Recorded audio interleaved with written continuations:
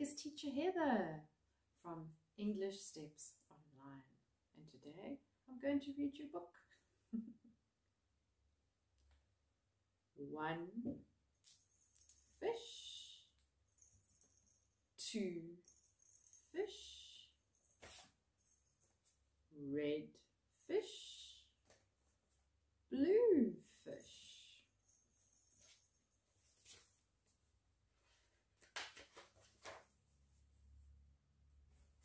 Black fish,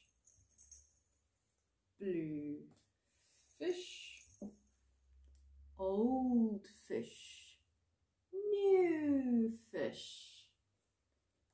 This one has a little star. This one has a little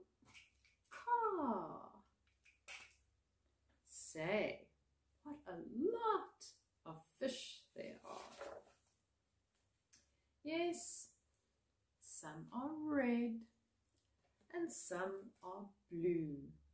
Some are old and some are new.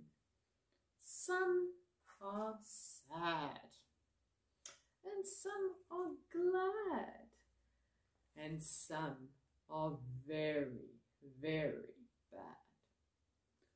Why are they sad glad and bad? I do not know. Go ask your dad. Bye.